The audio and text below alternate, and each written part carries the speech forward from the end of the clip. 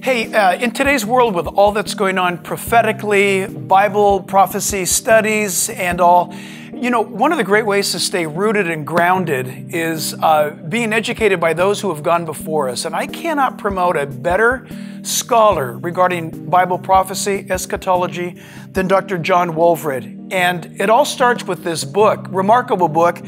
It used to be entitled 1000 Prophecies of the Bible. Uh, now it's been retitled to the Prophecy Knowledge Handbook. And I want to encourage all of you to get your hands on this book at uh, Amazon or your local bookstore.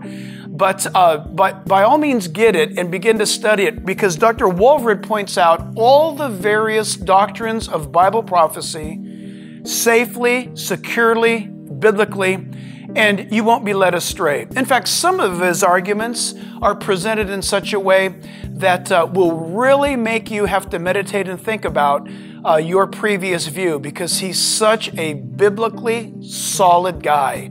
Dr. John Walvoord, the Prophecy Knowledge Handbook, it's a great resource. Get your hands on this book.